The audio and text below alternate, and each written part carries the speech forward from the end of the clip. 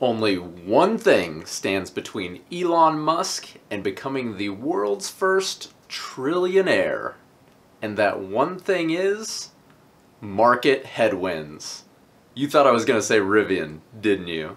Sorry to be the bearer of bad news, but we might as well just go ahead and bow down to our Bezos and Musk overlords. The future is inevitable.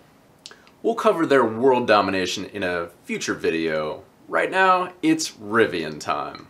Let's go!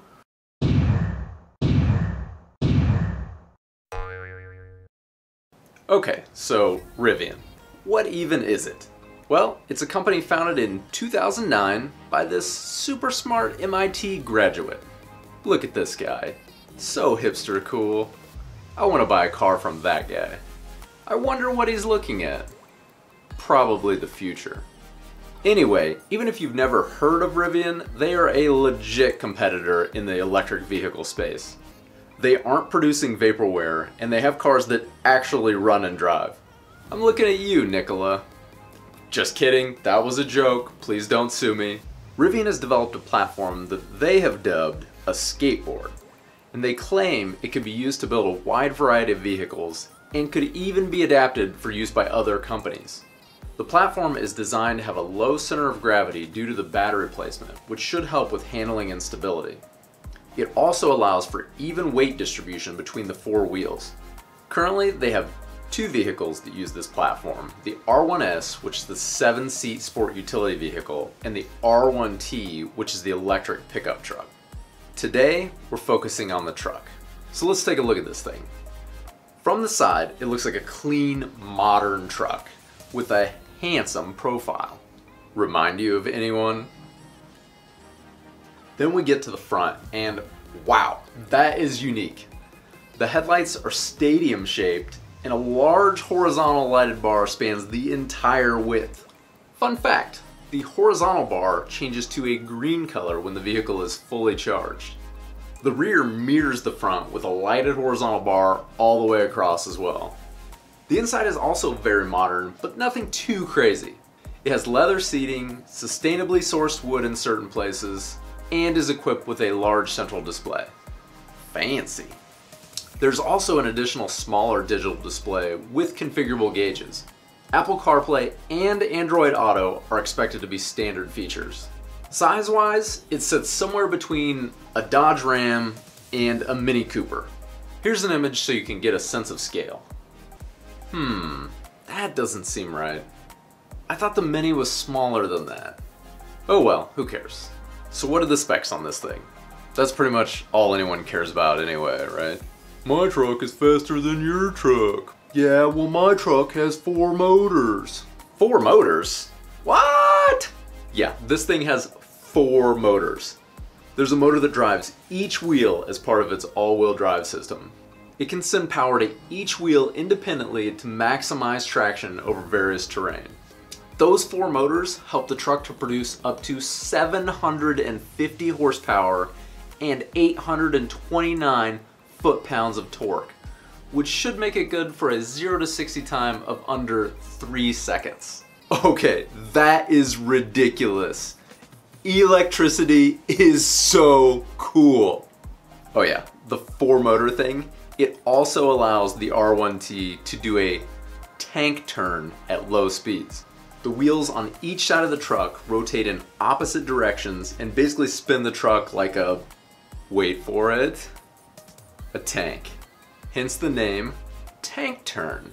I don't know if I actually need that feature, but if I had the money, I would buy one of these things just to take it out to a parking lot and do donuts like all day, every day.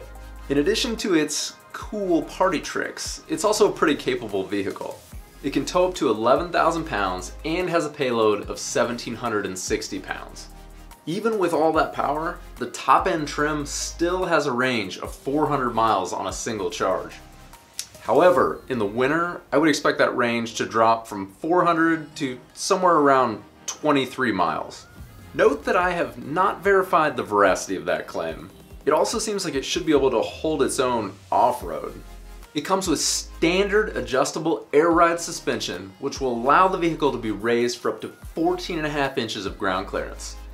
It can also wade through over three and a half feet of water and climb a 45 degree incline.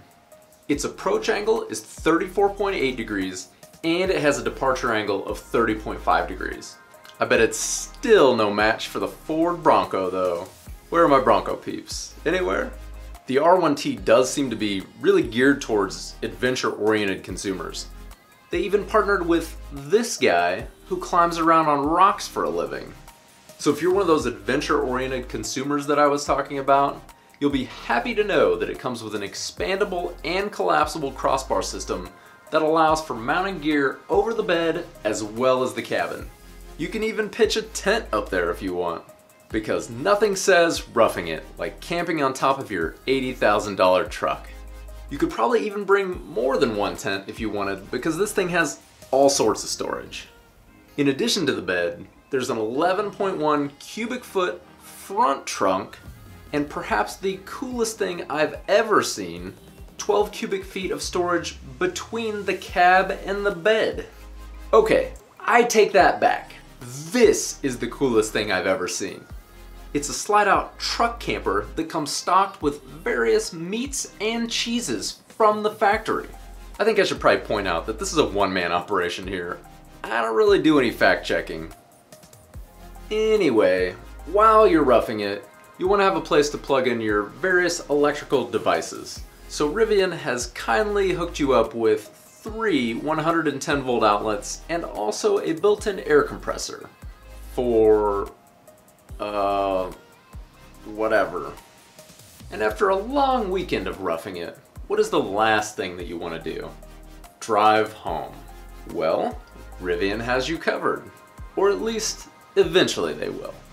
This thing is rated as level 3 autonomous, which for people who haven't committed the various levels of autonomy to memory, means that it allows for drivers to take their eyes off the road and allow the vehicle to take them wherever. It also handles things like emergency braking.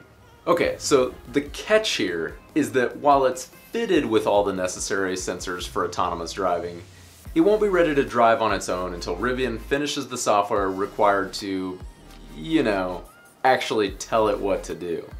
Here's to hoping that software rollout goes slightly better than Windows Vista. Okay, so the cost. Originally, Rivian said that there would be three models ranging from 70,000 to $80,000. But they have recently stated that the $69,000 price point would be for a nicely equipped vehicle and that the base model pricing would actually be much lower. I like to call that the Cybertruck effect. Thanks, Tesla. Competition is good for everyone, right? So how do you get one? You hop on Rivian's site and you give them a $1,000.